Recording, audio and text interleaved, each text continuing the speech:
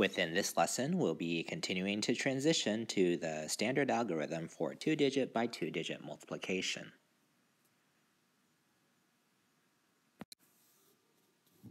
Here, when we had the problem 47 times 24,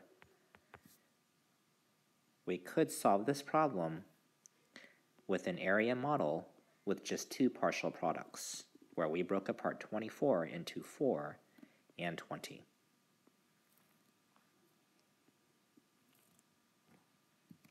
Here, this would be 4 times 47.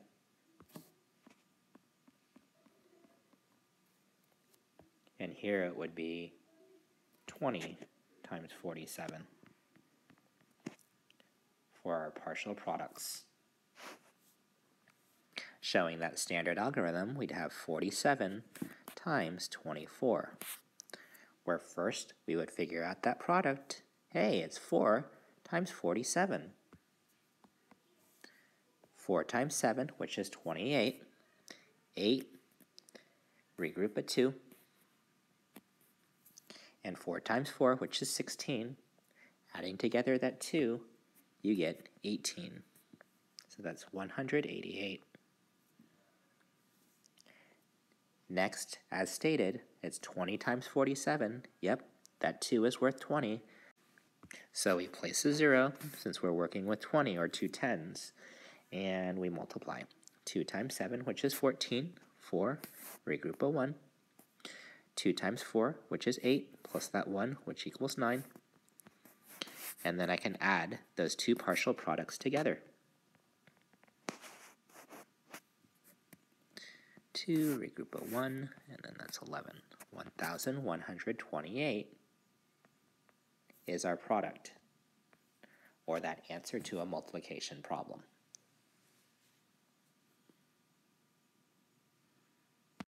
Here's another problem. What's going to go on this first line? What goes on that first line? Right, we're working with the 6 and we're multiplying that 6 with the 63.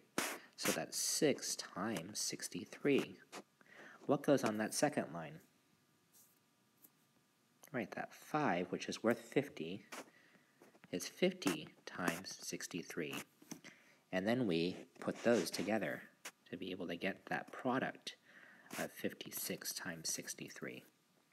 Let's work that out. 6 times 3 is 18. 8, regroup a 1. 6 times 6 is 36, plus 1 is 37. So that 6 63s is 378.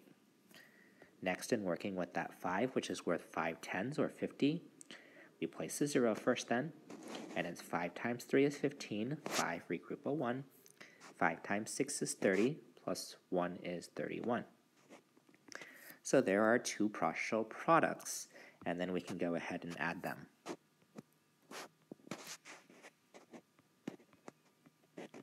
We get the product 3,528.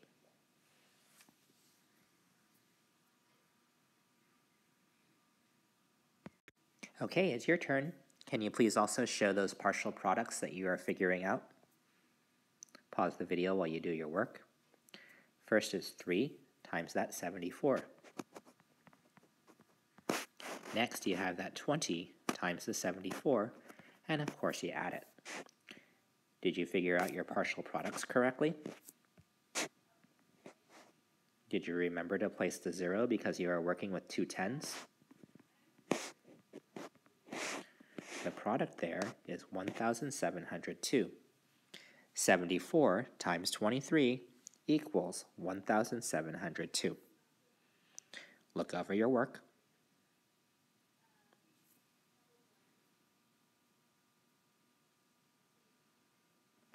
Okay, it's your turn again. This first product is going to be what? 3 times 68. Pause the video while you continue your work. 3 times 8 to start with. That gives us 24. 4, regroup a 2. 3 times 6 is 18, plus 2 is 20. Cross out the regroup. Working with this 5, which is 5 tens, that's why we place a 0. Then we continue with that multiplication. 5 times 8, which is 40, 0, regroup a 4.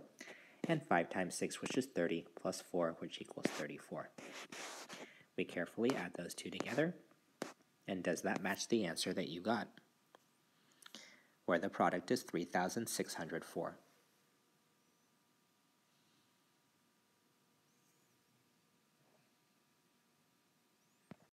One more look with the standard algorithm alongside the area model. We have 78 and we're multiplying it by 56.